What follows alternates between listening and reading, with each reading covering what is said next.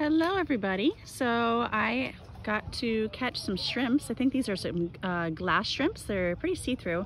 This is a female right here and the reason why I know it's a female is because those dark structures on the bottom side are actually eggs. So I'll definitely make sure to release her once I'm done with this video. I also have a type of a pipefish that's swimming around at the bottom. I've got a couple shrimps there's some buddies right there. And then a pipefish that's actually related to a seahorse. But um, these shrimps, just to give you some general information, shrimps um, are related to crabs and lobsters. Um, they are in phylum Arthropoda, arthropoda referring to their jointed appendages. Um, and shrimps have a modified body plan compared to your crabs. So one thing that we all know, if you eat shrimp, you love to eat the shrimp. And what part that you are actually eating on the shrimp is their abdomen. The abdomen is the part that is holding the eggs right there.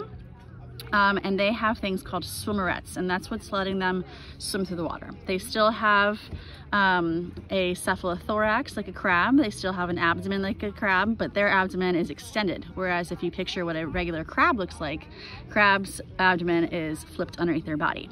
But these shrimps are, um, they've got long, uh, long antenna in the front, they've got two stalked compound eyes, and they love to eat tiny plankton that is in the ocean waters. So that is our little shrimp right here. He keeps on backing up every time I twist it around.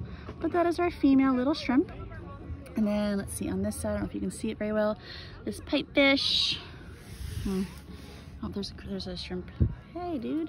Actually, dudette. It's another girl. These all seem to be uh, females. Can't see very well, but that is the shrimp and probably giving little high fives to the pipefish, which you can't see now. So there's the video about our shrimps. See you later. Bye.